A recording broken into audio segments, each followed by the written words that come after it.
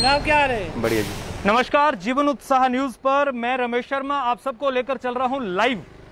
और आज लाइव के साथ साथ में मैं आपको पहले जैसे टाइटल पे आप पढ़ रहे हैं कि बड़सर के निवासियों के लिए सबसे पहले तो बहुत बहुत शुभकामनाएँ। बधाई के अब उनको एक हेलीपैड मिलने वाला है। क्योंकि वहाँ पर हेलीपैड पे जो हेलीकॉप्टर उतरेंगे वो एक आम आदमी के उतरेंगे। वहाँ पर कोई भी सरकारी या किसी नेता का रोल नहीं होगा। और आप सब लोग तैयार हो जाइए अपने अपने हेलीकॉप्टर खरीदने के लिए, क्योंकि अब बड़सर में हेलीपैड बनने जा रहा है और क्यों ना खुशी हो? क्योंकि बड़सर को ना तो सेक्रेट की ज़रूरत है बड़सर को ना तो बस अड्डे की ज़रूरत है, और यहाँ तक तो बड़सर को ना तो किसी कूड़ा घर की आवश्यकता है। और मैं आपको दिखाने जा रहा हूँ ये हालात, ये वो जगह जहाँ पर हमारे नेता, आज हमारे जो कार्यकर्ता हैं, वो बड़े बड़े दावे करके आज श्रेय लेने वाले हैं और अपने अपने पोस्ट करके बता रहे हैं कि हेलीपैड उन्होंने बनवाया। साहब, आप लोगों को शर्म नहीं आती है? ये हेलीपैड का आम आदमी से क्या संपर्क है? ये हेलीपैड पे आम आदमी को क्या फ़ायदा होने वाला है? ये तो नेता अपने फ़ायदे के लिए बना रहे हैं कि उनको गाड़ी से ना उतरना पड़े, और मैं आपको जानकारी बताना चाहता हूँ कि आज से 10-12 साल पहले भी बरसर के अंदर एक हेलीपैड का निर्माण किया गया था बुम्बलू में, जब राजा वीरभद्र सिंह जी पहले भी आए थे, तब भी हेलीपैड का बनाया गया था। सब हेलीपैड से एक आम आदमी को क्या मिलने वाला है? आप उसका जवाब दीजिए।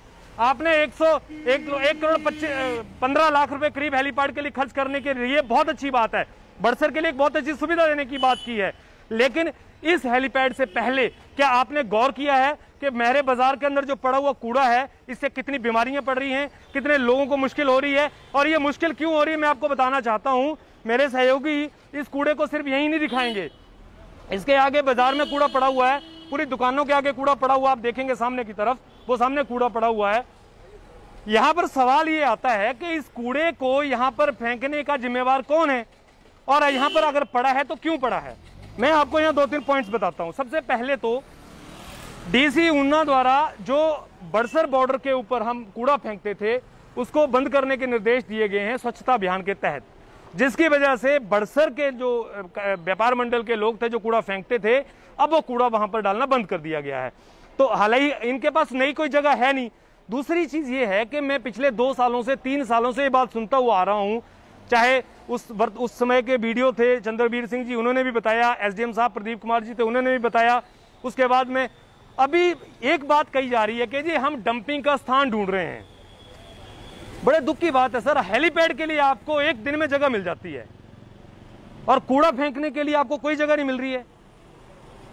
कितना शर्म की बात है कि हम लोग आनन फानन में कोई भी काम करते हैं। मैं सुविधा के खिलाफ नहीं हूँ। बहुत अच्छी बात है, हेलीपैड बना रहे हैं, आप बनाइए क्योंकि आपको फ़ायदा उसका। हमें कोई फ़ायदा नहीं साहब। एक आम आदमी को भी मैं पूछवा सकता हूँ यहाँ पर कि बड़सर में हेलीपैड बनने से उनको क्या फ़ायदा है? सब ना तो उनकी गाड़ी वहाँ खड़ी होगी, ना उनकी साइकिल वहाँ खड़ी होगी, ना ही उनका खुद का वहाँ से जाने के कोई चंडीगढ़ के लिए फ़्लाइट मिल जाएगा।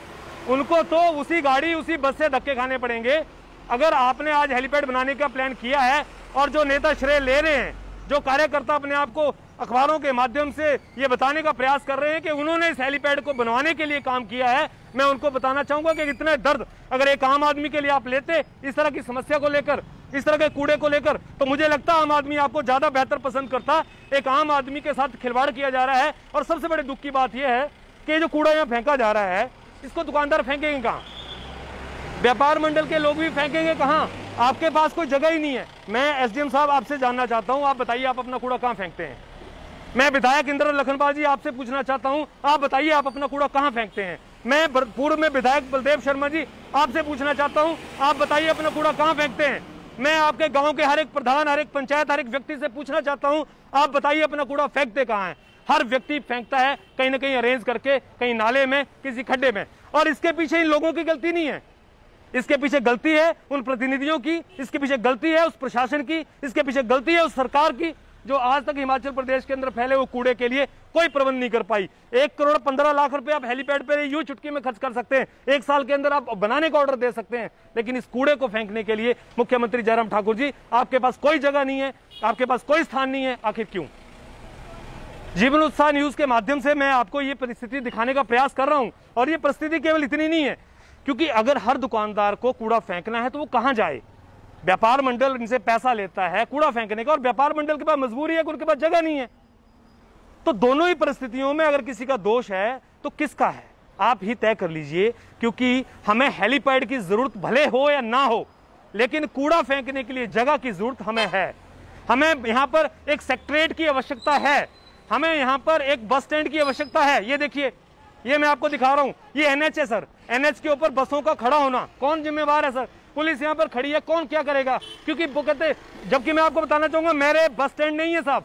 मेरे कोई बस स्टैंड नहीं है। मेरे ये एनएच है और यहाँ पर बस स्टैंड के नाम से कोई जगह नहीं है। फिर यहाँ पर बसें खड़ी रहती हैं, सर। एक आम आदमी को बताइए फुटपाथ कहाँ चलने के लिए? जवाब दीजिए, यहाँ के विधायक जवाब दें, यहाँ के प्रशासन के लोग जवाब दें, यहाँ के मुख्यमंत्री जवाब दें। यहाँ के, मैं इसलिए बोल रहा हूँ कि बड़सर तो आपको आना नहीं है। बड़सर तो आप तभी आएँगे जब हेलीपैड बन जाएगा।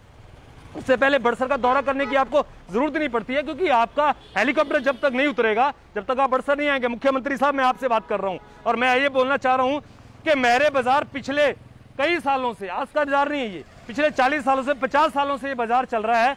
50 सालों से आप इस जगह पर एक बस स्टैंड का अरेंज नहीं कर पाए। आप अपने पड़ोसी बोरंस को देख लीजिए, वहाँ पर सेक्टरेट बन गया, बस स्टैंड बन गया। आप बंगाना चले जाइए, वहाँ पर सारी सुविधाएँ होगी नदौन चले जाइए, सारी सुविधाएँ होगी। बड़सर से आखिर क्या परहेज है? क्यों यहाँ पर उस तरह की सुविधाएँ नहीं बनाई जा रही हैं? इस तरह, मैं देखिए यार, कुछ बुज़ुर्ग लोग हैं, मैं बात कराऊँगा। मैं यहाँ दो सवाल खड़े करूँगा यहाँ पर। मुझे पता है ये दो सवाल जो है मेरे बड़े तीखे लगेंगे, लेकिन ये बुज़ुर्ग व्यक्ति हमारे बीच में खड़े हैं। सर, बड़सर में आपको मैं पहले बधाई दूँगा, सर, एक हेलीपैड बनने जा रहा है। जबकि कूड़ा फेंकने के लिए इनके पास जगह नहीं है, बस स्टैंड बनाने के लिए इनके पास जगह नहीं है, जगह होने के बाद नहीं बना पा रहे हैं। इनके पास सेक्टेड बनाने के लिए प्रॉपर जगह नहीं। सर आपका बड़ा लंबा तजुर्बा पूरी उम्र सत्तर पचहत्तर साल होगी। क्या कहना चाहेंगे इसको लेकर? इनकी घोषणा है ग्राउंड ज़ीरो है। नहीं अभी मुख्यमंत्री ने तो पच्चीस लाख रुपए दे दिए सर हेलीपैड बनाने के लिए। तो अच्छी बात है बनना चाहिए। तो हेलीपैड के जगह कूड़ा का घर नहीं बनना चाहिए कूड़ा फेंकने के लिए। नहीं बनना चाहिए? क्यों जी क्यों नहीं बनना चाहिए? वहाँ पर प्रदूषण फैलेगा। अच्छा वहाँ पर प्रदूषण फैलेगा। हाँ। तो यहाँ पर जो कूड़ा पड़ा हुआ है इससे प्रदूषण नहीं हो रहा है? इससे भी हो रहा है। तो क्या समाधान करना चाहिए? उसके लिए कोनो कोई प्रबंध करना चाहिए। प्रबंध करना चाहिए। हाँ। पिछले 25 सालों से 30 सालों से लोग इस बात को देख अच्छा कूड़ा आज से तो फेंक नहीं रहे साहब। ये तो है नहीं कि आज से फेंकने लगे हैं। कूड़ा तो हर एक व्यक्ति चाहे प्रधानमंत्री नरेंद्र मोदी जी जो स्वच्छता अभियान के ऊपर अरबों रुपए खर्च कर दिए होंगे, उनको भी कहीं ना कहीं फेंकना पड़ता है। पूरी दुनिया में जाइए, कूड़े के लिए कोई ना कोई कोई ऐसी जगह बनाई गई है जहाँ कूड़े को नियंत्रित किया जा सकता हो। लेकिन बड़सर बाज़ार के अंदर आए दिन, मेरी अभी जो प्रधान है विनोद लखनपाल जी, उनसे बात हुई तो उन्होंने ये कहा कि हम इसको लेकर डीसी ऊना ने जो ऑर्डर किए हैं, उसके तहत विवश है कि वहाँ पर कूड़ा नहीं फेंक सकते। अभी मैं आज आपको लेकर चलूँगा, मेरे बाज़ार नीचे जंगल में दिखाऊँगा आपको। ढेर पड़े हैं कूड़ों के, ये बाज़ार तो कुछ भी नहीं है वहाँ से उठा के कूड़ा वहाँ फेंक रहे हैं लोग। सर, ये नाकामी है हमारे अधिकारियों की, नाकामी है हमारे प्रशासन की, नाकामी है हमारी सरकारों की, नाकामी है हमारे नेताओं की, और नाकामी है हमारी उन कार्यकर्ताओं की जो झंडा उठा के, नेताओं के नारे लगा के उनके जिंदाबादी के बात करते हैं। सर, आप उनके जिंदाबाद नारे लगाने की बजाय एक आम आदमी की आवाज़ क्यों नहीं उठाते हैं? आप एक आम आदमी के लिए क्यों यहाँ खड़े नहीं होते हैं आकर कि यहाँ पर कूड़े का व्यवस्था होना चाहिए? क्योंकि आप में दम नहीं है, सर। क्योंकि आपके अंदर एक केबल और एक केबल किसी आदमी की नेता का डंडा उठा के, झंडा उठा के उसकी जय जयकार करने की रहे, क्योंकि आपको ठेके लेने हैं, क्योंकि आपको अपना परिवार के अंदर आपको अपने रोज़गार चलाने हैं। एक आम आदमी से आपको कोई फ़र्क नहीं पड़ता है। एक आम आदमी बाढ़ में जाए, एक आम आदमी कूड़े में मरे, उसका पूरी दिन समस्या चली रहे, आपको कोई फ़र्क नहीं पड़ता है।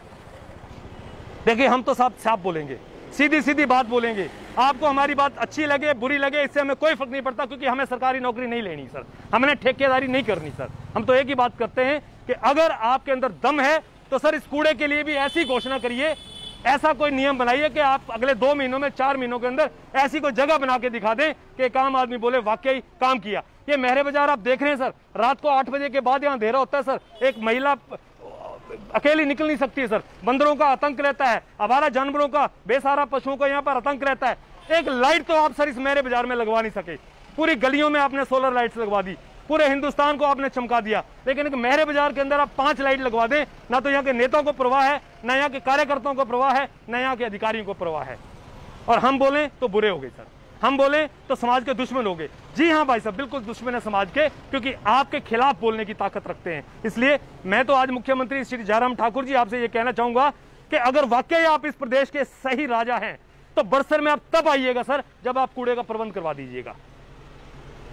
और मिनी सेक्ट्रेट और बस स्टैंड का आप यहाँ पर उद्घाटन करा दीजिएगा। उससे पहले आप आएँगे तो लोगों को बेमानी लगेगी। लोगों को केवल एक बात लगेगी कि आप अपनी सिर्फ़ राजनीति चमकाने के लिए बड़सर का इस्तेमाल कर रहे हैं। अन्यथा आपको बड़सर की कोई आवश्यकता नहीं है, क्योंकि पिछले तीन साल से ना तो आपको बड़सर का पता लगा है, ना ही आप बड़सर में एक बार आए हैं। मैं मेरी बात आपको ज़रूर बुरी लगेगी, लेकिन सच यही है। जीवन उत्साह न्यूज़ के साथ अगर आप जुड़े हैं, इस लाइव स्ट्रीम को शेयर कीजिए। इस बात को मुख्यमंत्री जयराम ठाकुर से लेकर प्राइम मिनिस्टर नरेंद्र मोदी तक भी पहुंचाइए कि साहब, ये आपके हालत है जहाँ पर कूड़ा रखने की व्यवस्था नहीं है, वहाँ पर हेलीपैड पे पैसे खर्च किए जा रहे हैं। बहुत बहुत धन्यवाद। इस तरह से बने रहिए हमारे साथ में। Thank you very much